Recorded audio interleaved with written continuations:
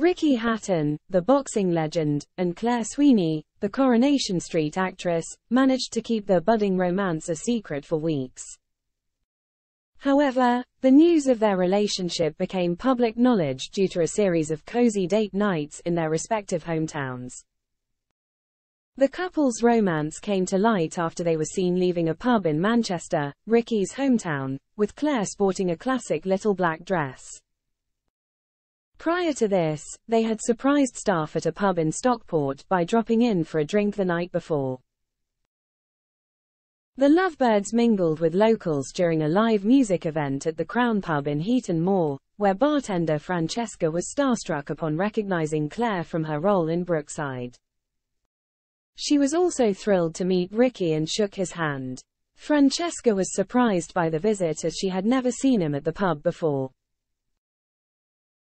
However, she was proud that they chose to visit based on the pub's reputation, attributing its popularity to its genuine community atmosphere. Despite not being the fanciest establishment, the pub attracts patrons from far and wide due to its welcoming vibe. Francesca shared a photo of the celebrity visit online, causing a buzz among patrons. She emphasized the pub's inclusive nature, stating that while they serve anyone, it's a bonus when celebrities like Ricky and Claire drop by.